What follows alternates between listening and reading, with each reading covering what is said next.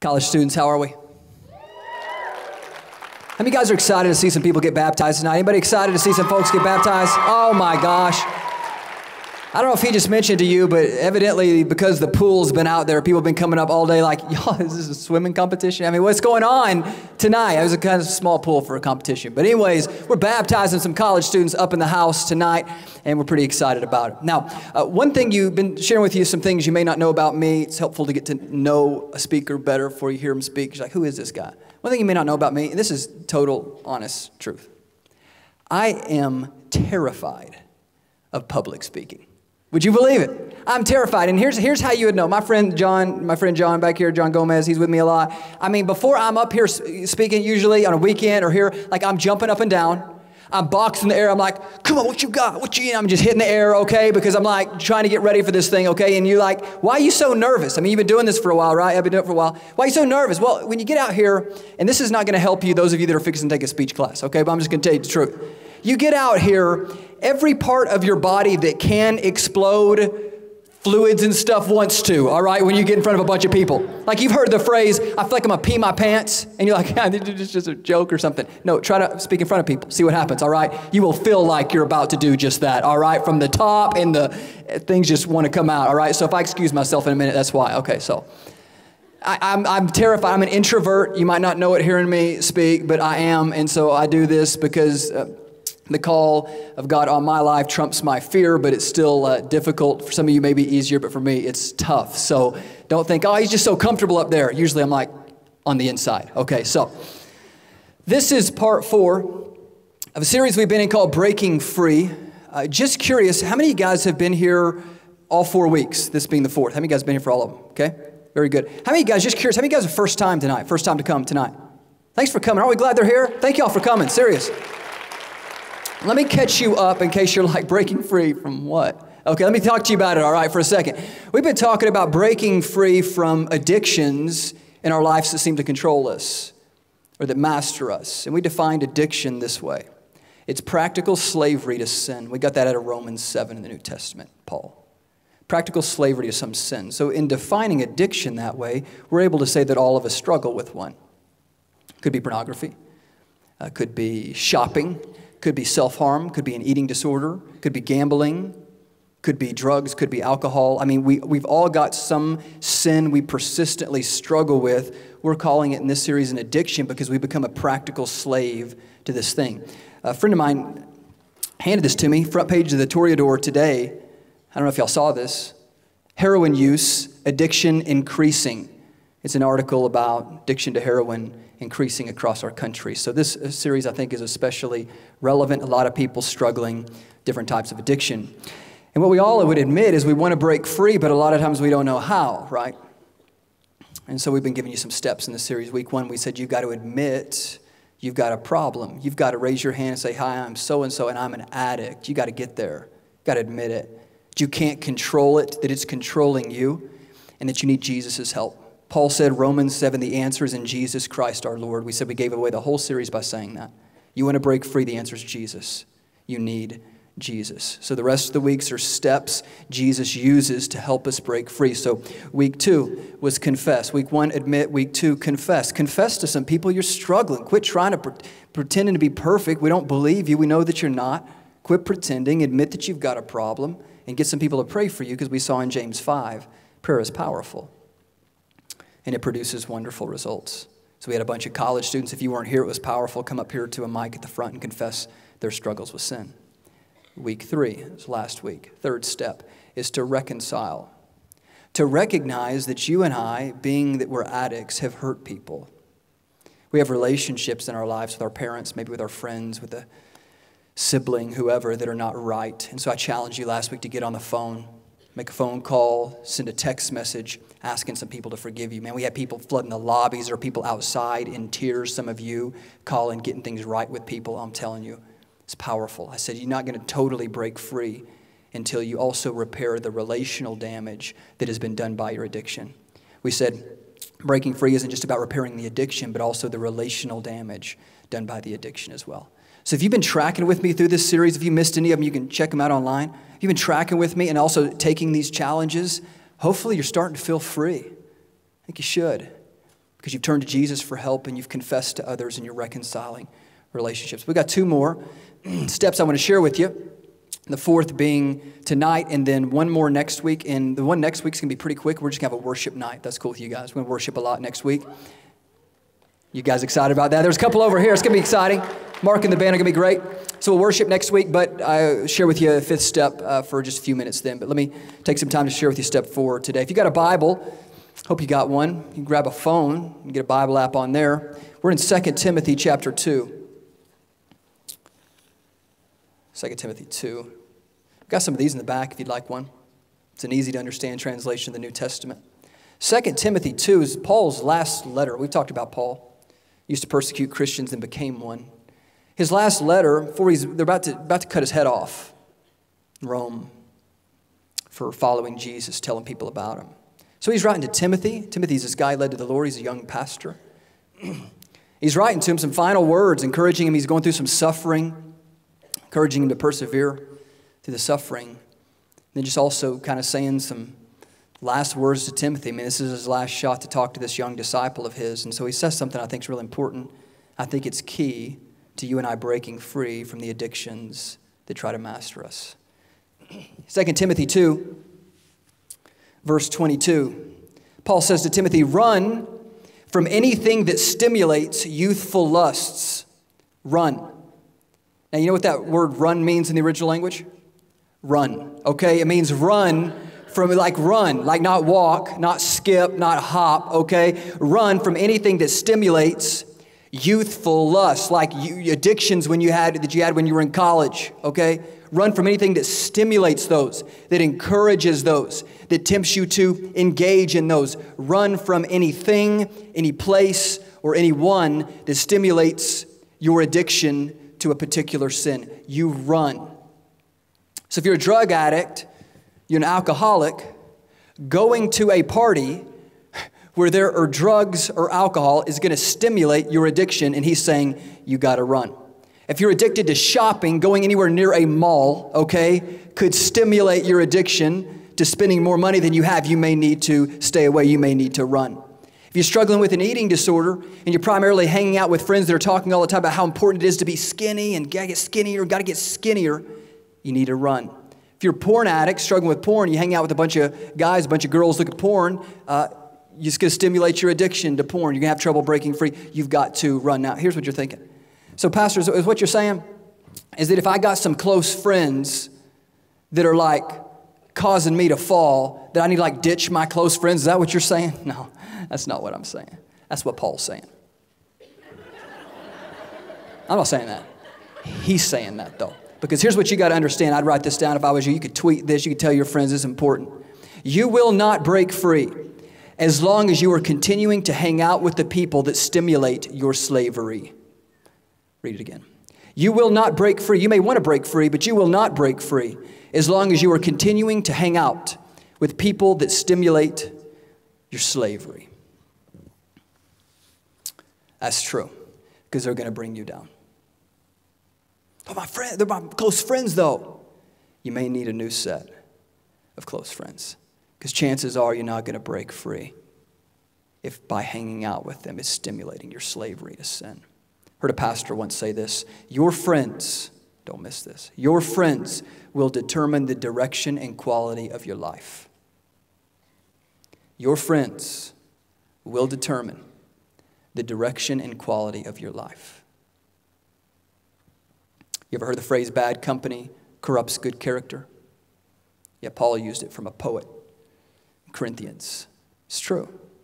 Hang out with the wrong types of people is going to influence you in going in the wrong direction. You got to remember that, college student. You got to remember that. So he says, run anything that stimulates youthful lust. Then he goes on and says, instead, here's what you should do. Instead, pursue righteous living faithfulness, love, and peace. Like run from things that stimulate your addiction, run from things that encourage your addiction, thing that you're struggling with, and instead pursue God.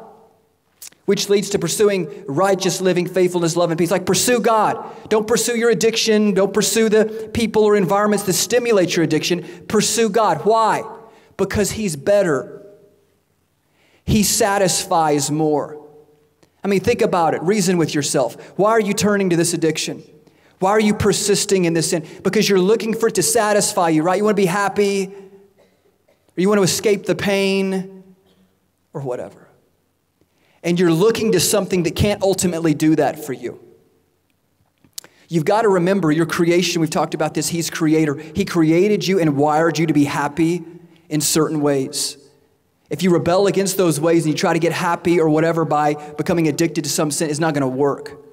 Because He's the one that wired you to be happy in certain ways, and the way He's wired you to be happy is in relationship with Himself and following Jesus. He's just saying here, Paul's saying to Timothy, hey, remember this, I'm about to die. Remember this. Run from the youthful lusts, okay? They don't satisfy. They're not going to take you where you want to go. You're going to hit the brick wall 32 times, fall on your rear end, and be like, can somebody help me with this? Man, I keep running in the same direction. It's taking me nowhere. That's where a lot of us get with our addictions, right? We just keep hitting the wall over and over again, thinking it's going to bring the satisfaction, happiness we long for, and it doesn't. When are you going to give up? When are you going to give up on those things and recognize Jesus brings joy? Jesus, God, satisfies your longing. No, it's not going to be alcohol. It's not going to be drugs. It's not going to be porn. It's not going to be self harm. You turn to the wrong things, whereas your God is saying, Turn to me. I'll help. Turn to me. How long are you going to keep turning to these other things, and hitting the wall over and over again? How long are you going to keep turning to them? Why don't you turn to me? Run from the youthful lusts. Pursue God. And then, watch this, this is, this is key. Enjoy the companionship of those who call on the Lord with pure hearts. I'd remember that verse. Paul saying to Timothy, enjoy the companionship. Like, here, here's the kind of friends you need, Timothy. If you want to run from youthful lust, you're going to need some help. You're going to need some friends that can help you with that. Here's the kind of friends you need. Enjoy the companionship, become friends of those who call on the Lord with pure hearts. Like you college student, here's the thing you want to break free. You need godly friendships to replace your ungodly ones. Because godly friends aren't going to stimulate your youthful lust, and they're going to be there to pray for you. They're going to be there to help you break free. They're going to be there to help you overcome the addiction. Paul telling Timothy, it's going to be hard for you to run from youthful lust, to overcome your addiction on your own. But if you enjoy the companionship of those who call on the Lord with pure hearts, is going to be easier because they're going to be there with you. They're not going to pull you down. They're not going to drag you down back into your addiction where you're in chains. Nah. They're going to pray for you. They're going to help you break free. You got friends like that? Is that what you're doing, college student? You enjoying the companionship of those who call on the Lord pure hearts? Because if you want to break free, that's huge. You need that. Step four is this. You want to break free tonight if you're taking notes is you've got to pursue. The word is pursue. You've got to pursue god and pursue godly friendships. Admit you have a problem. You confess it to others. You get relationships right. You reconcile and then you pursue. If you're going to run from sin you got to run to someone. His name is jesus. So you pursue god you pursue jesus and then you pursue godly friendships. I knew a guy growing up and he struggled with drug addiction bad. I mean, he was in and out of rehab, and it was tough. I knew he needed Jesus. The answer is Jesus. He just wouldn't turn to Jesus, continue to struggle, and finally did. He did. He turned to Jesus. He committed his life to Christ, and he, it seemed like he was set free for a season. But then he fell right back into the drug addiction again. And it was so clear to him and to all of us watching as to why he fell back in again. The reason he fell back in again is even though he committed his life to follow Jesus, he went back and hung out with those old friends that pulled him down. And they pulled him down again, even as a Christian. Their, corru- their company corrupted his character. And so he continued to struggle because he just thought, okay, I need Jesus, I want Jesus, but I still want these friends. what you don't realize is it's very difficult to break free if you don't separate yourself from the ungodly influences in your life. So in time, he figured this out recommitted his life to follow Jesus, and then he moved out of town. And he thought, the only way I'm going to get away from these friends is I got to get out of here. And he moved away, and I think he's been sober now about two, two and a half years, longer than he ever has been in his life. Because it wasn't just about pursuing God. As he pursued God, God led him to separate from some of these ungodly influences. He wouldn't initially. When he finally did, he was able to break free. College student, same is going to be true for you. You're pursuing God. God, I want you. I'm following after you. Help me break free. He's going to say, separate yourself from the ungodly influences. Are you willing? Separate, you're going to need a new core group of friends. Are you willing? Because your old group of friends, they're going to keep bringing you down. Now, that doesn't mean you start defriending people on Facebook, okay? Hey, we're not friends anymore, dude. Sorry about that. It's not like that. It's just your close group of friends changes. You start hanging out more regularly with different people. It's not like you say to somebody, you're not a friend anymore. You just separate yourself from the environments where you've been hanging out with them that have been causing you to stumble and fall. I'll show you a video. There's a guy that's college age in this group, comes to this group on uh, Tuesday nights. He struggled for years with a drug addiction. And he found this to be true as well that the key was pursuing God. And as he pursued God, God would lead him to separate himself from the ungodly influences and pursue godly friendships. I want you to see his story. Take a look.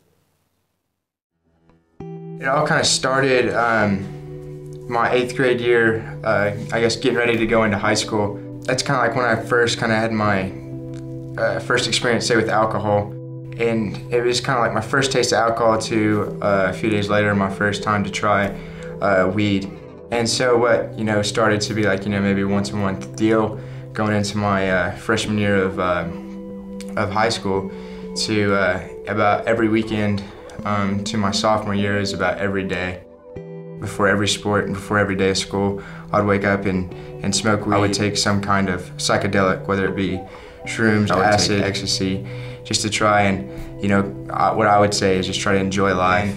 What led to me um, actually moving out with one of my friends, and you know, we ended up starting to deal together. And so I guess like from there, it was just absolutely downhill.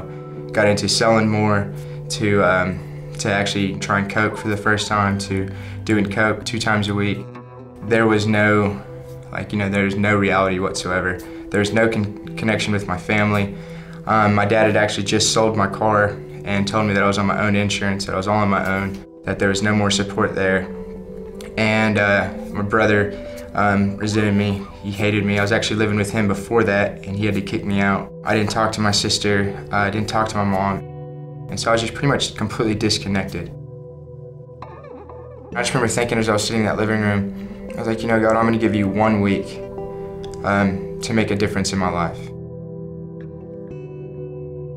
Anytime I was straight, I was bored, I was depressed. I just felt like nothing good was gonna come out of it. I just felt like socially awkward. Um, and I just kind of felt like there was no meaning to life. And so kind of like what that ended up leading to is me getting kicked out of school for it. Um, I was there and uh, I'd actually just got done smoking. The principal, you know, called me down to his, uh, his place and was just like, hey, we need to search your car. Um, and so yeah, they ended up searching my car and, uh, and they found some some weed in there and uh, some alcohol. And so from there, I got sent to a, uh, an alternative school and, uh, and I ended up having to graduate from there. I didn't even get to walk. You know, my entire like hope and dream was to uh, eventually one day, you know, going and playing college sports. Um, and, you know, right then, right there, it was just over.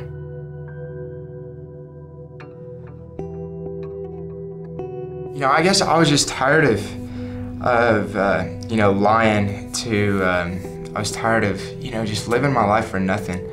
Um, I guess the like the feeling of no hope. Um, and I guess when you know a little bit about Christianity growing up, you know I guess you hear about Jesus, you hear about like all these things, but you really don't understand what it means and what he did on the cross. And I didn't even really at the time.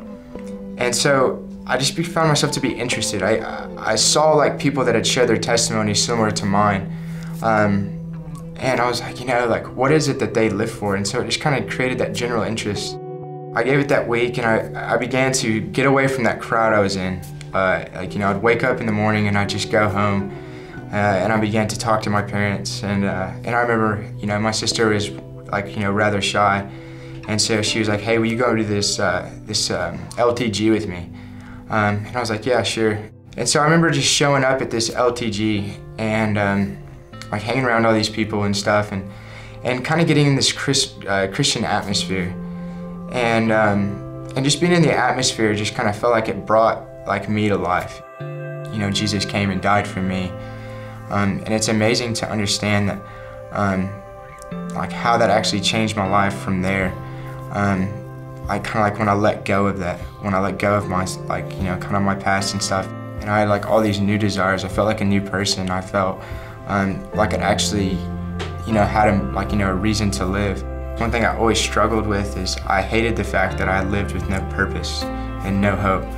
And uh, I guess to understand more of the cross and what Jesus did for me, and then how He gives us this Holy Spirit, um, it guarantees what is to come. And so it guarantees that I do have purpose and that I do have hope. None of the hope that I could ever do comes, like I, put, I, I can't put my hope in myself.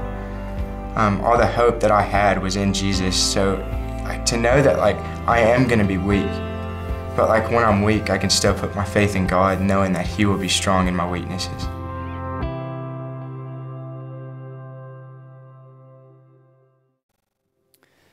help me thank Aaron for sharing his story with us?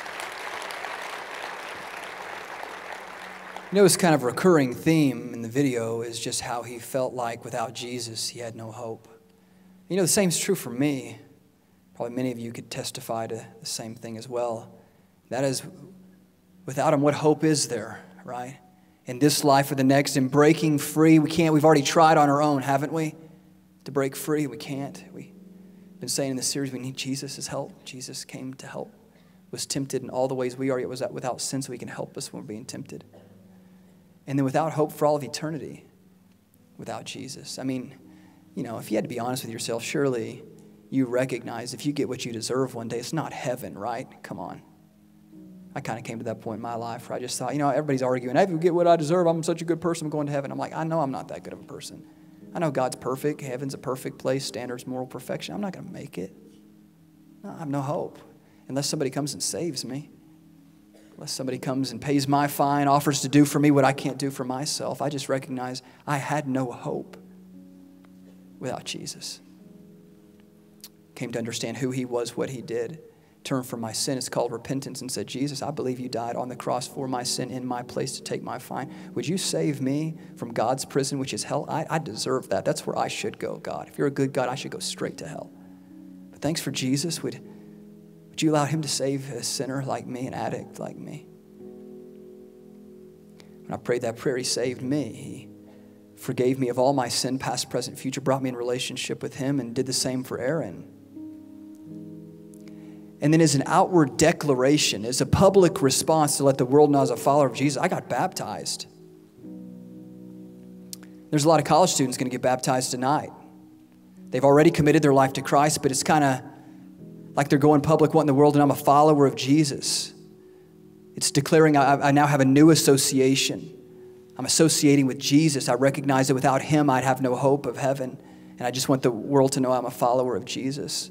That's what the New Testament says you do when you become a Christian, when you commit your life to Christ. You get baptized. Some people did it as a kid, their parents did it for them, but it wasn't based on their own faith. We should be baptized based on our faith in Jesus, the fact that we've committed our lives to follow Jesus. So I told the guys in, in the back that we, nobody's really prepared for this, but there's some people signed up to get baptized tonight out there in that swimming pool. But I'm thinking there's some people in here that just in plain clothes, you know, you need to get baptized tonight. And